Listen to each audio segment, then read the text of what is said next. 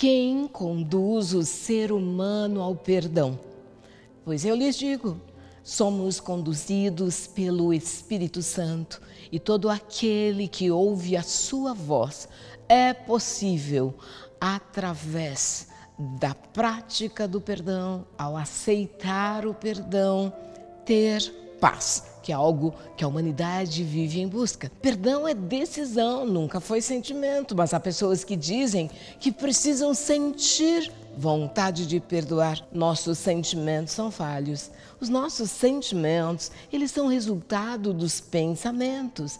Então, quando você coloca em prática o que está em Filipenses 4:8, vai lá e confere, é possível que os seus pensamentos sejam conduzidos pelo Espírito Santo trazendo para você novos sentimentos. Se perdão é decisão e não é sentimento, tem uma frase que eu digo: primeiro obedece, depois entende.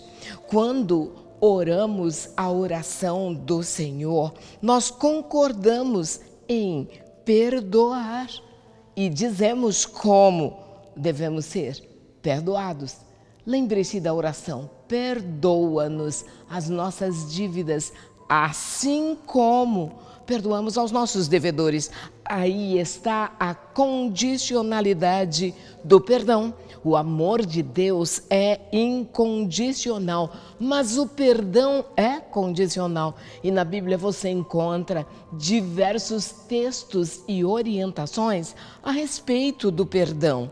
O amor de Deus por você é incondicional e isso anula, dissolve o comportamento diante de Deus. Sabe por quê? porque nós somos, através da aceitação do perdão, através da prática do perdão, nós somos informados quanto ao verdadeiro amor de Deus que se pauta em relacionamento. Quando Pedro pergunta para Jesus até quantas vezes devemos perdoar, até sete vezes, Jesus responde até setenta vezes sete. Cristo tira o perdão do limite da matemática.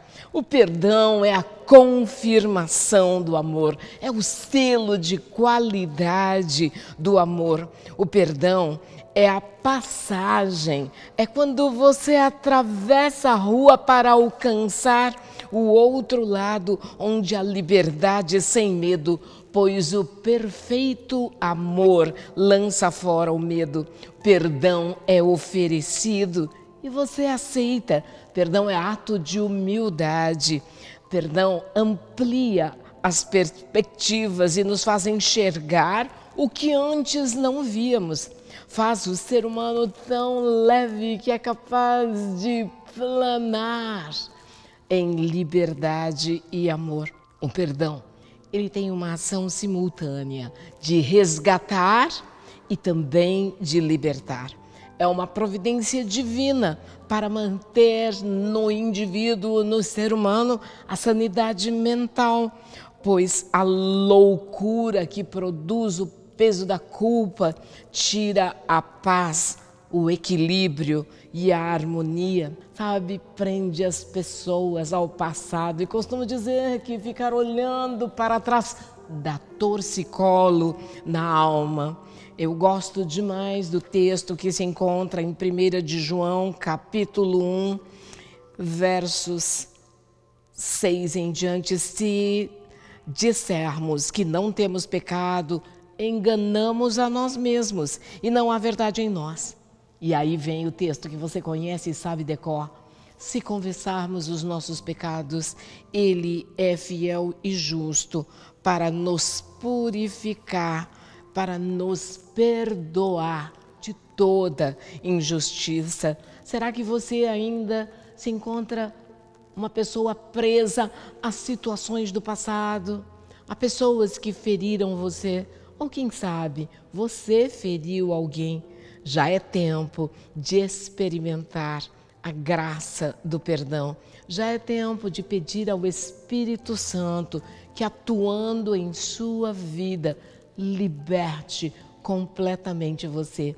Já é tempo de fazer verdadeira a oração do Pai Nosso. Perdoa-nos, Pai, as nossas dívidas, assim como perdoamos aos nossos devedores. Amém.